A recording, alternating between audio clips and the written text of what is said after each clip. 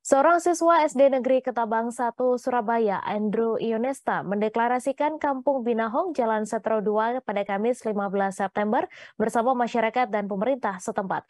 Tak ketinggalan acara ini juga dihadiri oleh Kepala Dinas Pendidikan Kota Surabaya Yusuf Masruh dan Sekretaris Dinas Lingkungan Hidup Ahmad Eka Mardianto. Untuk informasi selengkapnya akan disampaikan langsung oleh wartawan Surya, Febrianto Ramadhani yang kini sudah terhubung bersama kami. Silahkan rekan Febri. Baik, uh, jadi uh, seorang siswa SDN, seorang siswa SDN, SDN Ketabang 1 Surabaya, Andreo Inosta, mendeklarasikan Kampung Binahong, Jalan Setro, Setro 2, Kamis 15 September 2022 bersama masyarakat dan pemerintah setempat. Pemerintah setempat.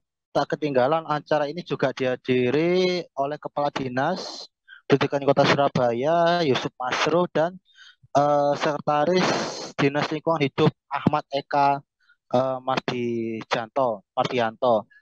Uh, Andrew Inesta sendiri mengatakan melalui deklarasi kampung Binahong ini diajarkan pengenalan produk dari olahan tanaman Binahong, kemudian rumah induk Binahong serta workshop pelatihan produk kecantikan dan kesehatan. Uh, kemudian juga ada taman pembibitan. Uh, terus warga diberikan pemahaman cara menanam bibit tanaman binahong, tutur Andrew.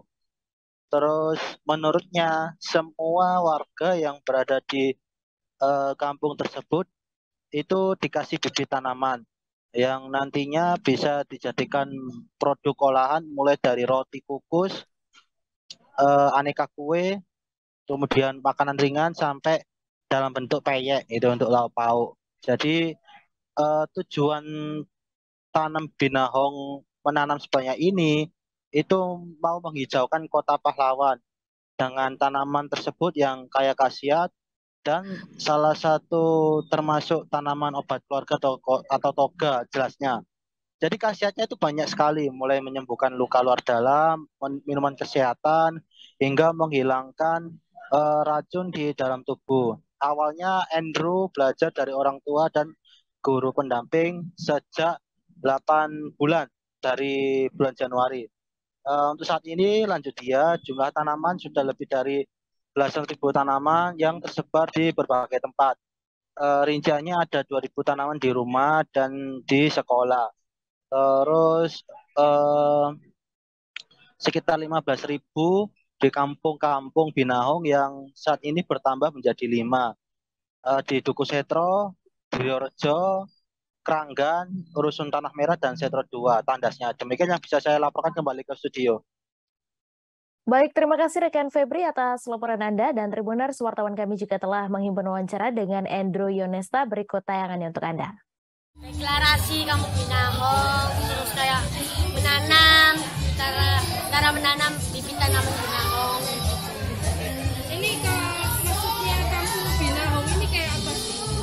Kampung apa? Kampung Binahong ini apa sih? Uh, kampung Binahong ini kayak kampung deklarasi dari Nones yang Nones buat jadi kampung Binahong itu. Jadi gini, uh, semua warga Nones kasih tanaman binahong sebanyak ya 50, 60, 70 lah gitu. Terus diapain? Binahongnya itu dijadikan produk olahan seperti roti kukus, kue getas, kue klepon, putri mani dan juga ada makanan ringan kalau mau dijadiin lauk pauk bisa kayak jadi rempeyek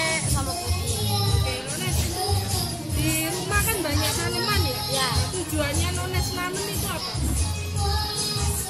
Uh, tujuan Nones tujuan Nones menanam itu uh, Nones menanam sebanyak itu karena Nones mau menghijaukan lingkungan Surabaya dengan menanam bibit tanaman binahong.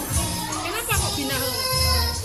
Karena binahong tanam kayak tanaman toga yang kayak merambat kalau tahu kalau tanaman binangnya merambat tinggal dikasih kayu diinjek dan terus digigit anu ya tes banyak?